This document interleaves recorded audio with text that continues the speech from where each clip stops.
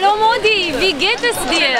אפשר לומר שבשבועות האחרונים גרמניה כולה באמת הייתה מאוחדת כדי לקבל את הגמר הזה ולצפות בו בערוץ שאינו בתשלום, אבל באמת השבוע האחרון ההרגשה היא שההיסטוריה חוזרת על עצמה, גרמניה פשוט מחולקת, ובמיוחד הבירה ברלין שבה אני נמצאת.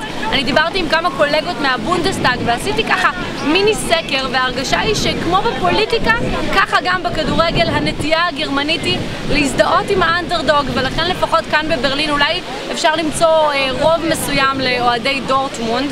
בכל אופן חברי הפרלמנט בכלל לא נמצאים כאן בבירה השבוע, כל אחד במחוז הבחירה שלו, אבל מי שכן נמצא בברלין יוכל ליהנות כאן ברחבת שער ברנדנבורג ביום שבת בצפייה המונית במשחק עם חמישה מסכי ענק שהעירייה צפויה להקים כאן.